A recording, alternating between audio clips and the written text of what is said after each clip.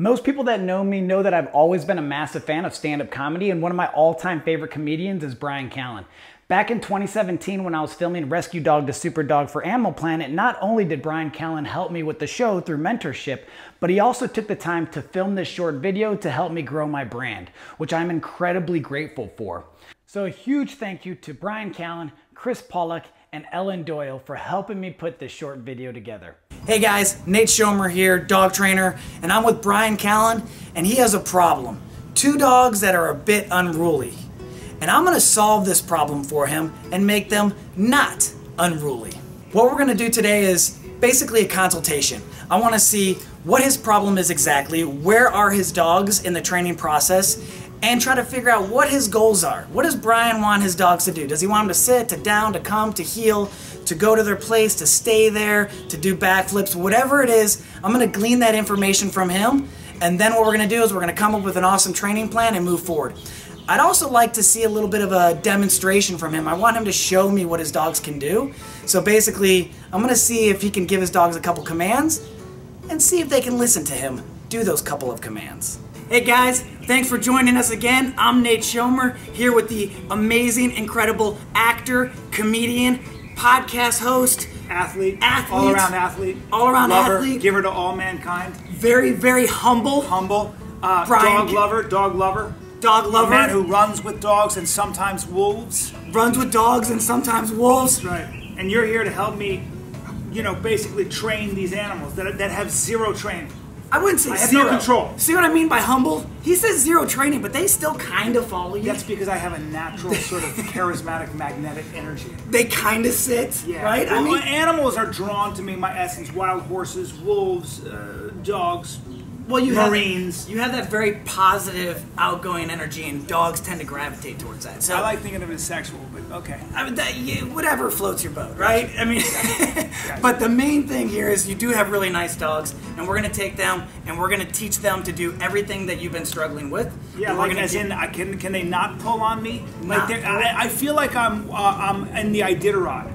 Like I'm literally I'm mushing my dogs. I don't know where they think they're going, but they're just like, let's go. do they do they do the yeah, it drives me crazy. I'm like, how can you be that dumb? You're choking yourself. Can you guys get like? I want them. Some of the things that Bryan told me in our conversation was he has two awesome dogs, but they have a couple basic problems that a lot of people run into. So one big one is they pull on the leash, right? You see people walking down the street all the time and their dog's going eh, eh, eh, as they're leading the way, right? That's not only a problem because it's uncomfortable as you're walking, but it also could be potentially harmful to the dog after years of doing that.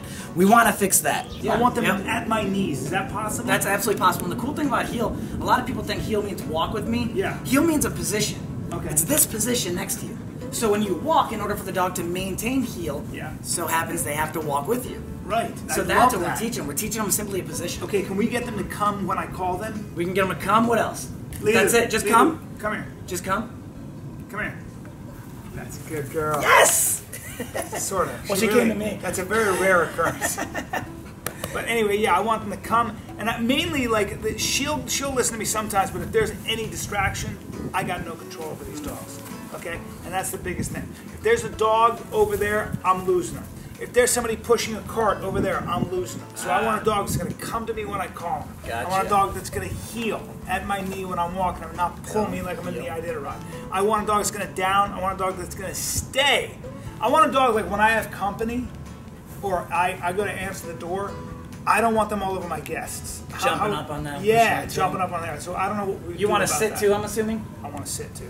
And then the one that I think is going to help with what you just mentioned, as far as people come to the door or you have guests, Yeah. you don't want to have to put them in the crate every single time. Exactly. So what we do is we teach them what I like to call a climb command. A climb command. Climb As command. climb that and I'm going to do a shout out real quick. Okay, go ahead. Tom Rose School, right? That's the place that taught me how to be a professional dog trainer, and they're the ones that really established that climb command. Okay. So you almost know a trainer if they say climb that they came from Tom Rose. Oh, really? A lot of other people will say place, but you call it what you want. But Tom Rose over here, guys. Tom Rose is pretty awesome. so- Climb. Climb. So what the climb command is though is basically it's anything elevated. It's not climbing up on you, Right. Because I don't think you'd want the dogs jumping No, up on you. Maybe on my back. But it's it's climbing up on anything that's elevated. okay. So you can use it, climb up on this. Well, you don't want them to jump on on the fire pit, but you get Right. the point. Idea. climb on the porch, climb on a chair, climb on a rock, climb in your truck, Yeah. or your car, or whatever it is you cruise around it. I drive a Tesla. Drive So around a getting in Tesla. my car. Tesla's amazing. Hashtag successful. Well, Hashtag wealthy. it's a nice car. I saw you I like to around. alienate the audience. You race in that too, don't you? Oh yeah. Just I like full throttle. Oh yeah. Yeah. I'll hit like 60, 70 sometimes. I don't care. I'm crazy. 60, like 70? I take my seatbelt off, but I'm going like 40. Holy Um, cow! I know. It's You, you like that's I don't edge. follow rules, bro. Now listen. So so you're gonna get. Speaking of rules, though, we're gonna get these dogs squared away. They're gonna do what I tell them, basically. Yeah, exactly. I'm gonna have dogs. Exactly I'm gonna have controlled dogs. See, I want dogs I can control. Control- Because because for me, a controlled dog, from what, I've heard, is a happy dog. Exactly right, and it's also a happy what? Not just dog, Owner. owner. Yes, happy owner. A controlled dog is a happy owner. exactly, and it's a happy dog too because now they have a clear path to success. Yes. They know what they're supposed to do. Yeah. They know how to navigate within the human world in ways that other dogs don't. Yeah. And their life just becomes that much better. Yeah. So we don't have to work on tug. Can we get my dog to not chew my shoe? We can do that as well. That's That's not a problem. Not chew my finger and not chew. growl or anything. Yeah. So you showed me what they were able to do in here. What I think we should do is we should throw the leashes on them, Yeah. go out on the street, and really see how they behave with distractions. Let's do it, man. Perfect. All right, cool. Let's go. His dogs do kind of somewhat follow him within the yard, but I mean, the second we go out into a place where there's more distractions, they're all over the place. We want them to know just the basic commands, so they're not sitting for him, they're not downing for him, and they're definitely not staying. They're kind of in their old, own world. And Nico, his new puppy, is doing a lot of basic puppy behaviors. He's chewing on things, he's chewing on his shoes, he's barking and snarling, running around, a couple accidents inside the house, so we're gonna fix those as well. Hey, hey. Oh, So she definitely wants to lead the way, and we're getting a little bit of competition from both of them. Yeah. Is that what So yeah, so one's trying to lead, and then the other one's trying to lead in front of, right? So they go back and forth with that. Yeah. Okay, right. That's gonna be. And I deal with this all day. And Will they do any- cross leashes and they just go wherever they want? Can you try to tell them to sit, see if they'll do Yeah. anything like hey, that? hey. Okay, listen, both of you guys. Hey, hey. Sit. Sit. Yeah. Sit. Sit. Hey, Or down. guys. Down. Hey, Nico. Nico. Come here, Nico. Nico. Nico. Man, I really got some good command of my dogs. Hey, and this is what most people struggle with. I deal with this all day. It Most- drives me crazy, honestly. And honestly, I'll be honest with you, I, walking my dog is not fun.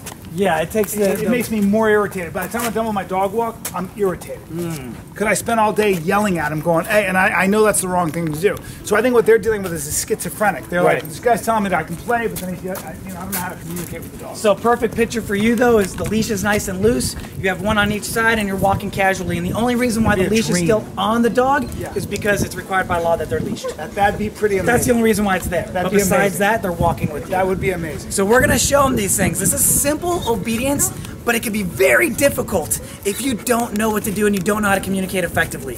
So we're gonna take these dogs, we're gonna show them what to do, and we're gonna get you what you need. All right, because I'm being pulled in This that is direction. yeah, they're and they're doing their own thing. All right, keep pulling on me. Keep walking that way. That's it. And keep walking generally, and we'll just walk generally. You pull on my, my arm, which then pulls on my neck and my back. It's awesome. Perfect. And now be distracted. Now be distracted. Now come over and say hi. Okay. They, literally, this is what they do. And you think that the tension on their neck would stop them from doing it. Okay. Leave. Well, we'll fix that too. Ooh, that's tough. See that? That, that? That's I'd really like to solve that problem. Right. Is that they keep they when they see a dog they their heads They go crazy. He wants to say That, hi. that's where off the leash stuff I could never get them to stop doing that. Just tell them.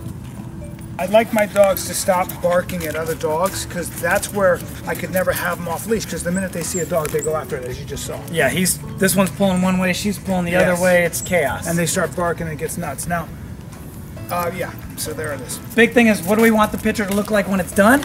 Right? You want to be able to walk with the dogs. You're looking good. You're feeling good. Yep. Dogs are looking good, feeling good. They're walking next to you. You stop. Boom. They sit for you. You don't have to say sit. Really? They do. You say heel, boom, you guys are walking. Damn. Now you're walking as one, not All this chaos. I like it, man. and it's gonna look good. It's gonna look real good. I like it. These guys are gonna have a lot of fun at the sanctuary. They're gonna do plenty of sits, plenty of downs. They're gonna really understand loose leash walking. We're also gonna do some really fun swimming with them, and we're gonna film a lot of this training, so you'll be able to see what they're going through. And at the end, you'll get that product, you get that perfect dog that you're looking for. I'm, I'm excited, man. I'm pretty excited too. Distraction proof. Distraction proof, obedience, all that good oh, stuff. hey, get out of the bush, bushes. Bush proof, I Bush mean, proof. Whatever Oh, works. Man, look at this. Bryan Callen, ladies and gentlemen. Nate Bryan Schoemer, Callen. ladies and gentlemen. Nate Schoemer. Dog trainer. After speaking with Bryan, there's a few things I'm going to start working on with his dogs right away. I'm going to continue to build their confidence. They're already super confident dogs, but we want to get them to be socialized. Because when he walks them on the street, they want to meet every other dog. So if they learn that meeting a dog's not a big deal, then they're no longer going to have that desire to want to meet every dog. I mean, think about if you've been in a cave your entire life, you're going to come out, you're going to want to high five everybody. But you're not in a cave and you get to talk to people on a daily basis, so seeing a new person really isn't a big deal. Unless it's Bryan Callen, then you're gonna wanna run and shake his hand. But besides that, the dogs are gonna have a blast, they're gonna swim, they're gonna do obedience every day, and they're gonna have a lot of fun as well. Socialization, play is a huge part of building that perfect dog. So I'm excited to move forward with this training program, and I'm super excited for you guys to see the results. What's up, guys? Uh, I'm Bryan Callen, and I have two dogs. They're great dogs. They're good dogs. Love dogs. Problem is, my dogs lack discipline. They don't do anything I tell them. In fact, they do what they want when. They think it's a free country, which is hilarious because they're dogs. So that's why I got Nate Schoemer. Now, Nate Schoemer is a dog trainer. You don't know him yet, but you will because he's got his own show on Animal Planet called Rescue Dog to Super Dog. He's going to take my problem dogs and turn them into super dogs. That's what he promised me. And if he doesn't, I'm going to have to ruin his reputation before he even has one. Well, it was an interesting uh, introduction. Uh, Nate assessed my dogs, and uh, I think he agrees that there's some work to be done. So I'm looking forward to, well, it's going to be two weeks from now, and apparently my dogs are going to heal. That means they're going to be at my knee. They're going to sit when I stop. They're going to, go down when I tell them to go down. They're going to climb, climb, which is some term for get up on that stump over there, or get up on that ledge or that bench. I have no idea. Apparently, they're going to swim. They're to do all kinds of stuff. Maybe even roll over or spin, backflip, talk. I got no idea. Apparently, he can do it all. We'll see.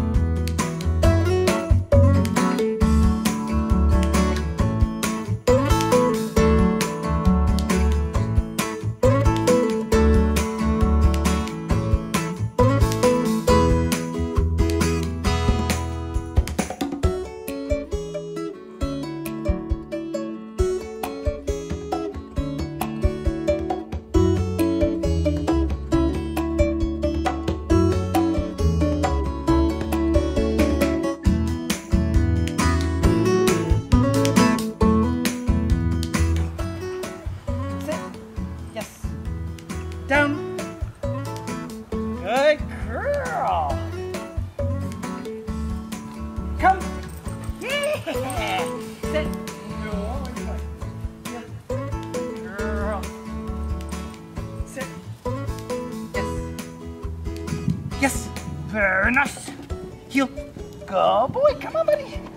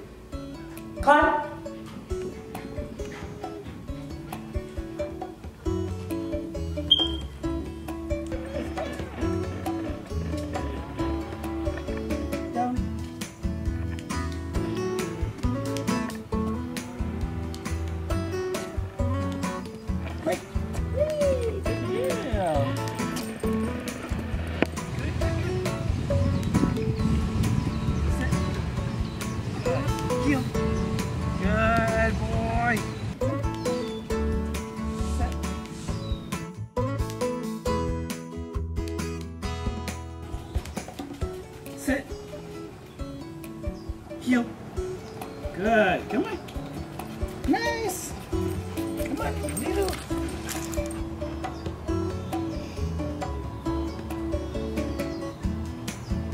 Come.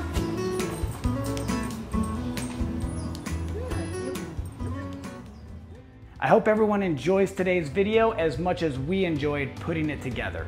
If you want to learn more about dog training, I offer Zoom training sessions. I have over 150 dog training instructional videos on my YouTube channel, or you can also get a copy of my dog training manual. If you want to support the channel, you can like, subscribe, or check out my website to become a Patreon or shop at either of my two online stores. All the links will be provided in the description of this video. Thanks again, and I'll see you next week.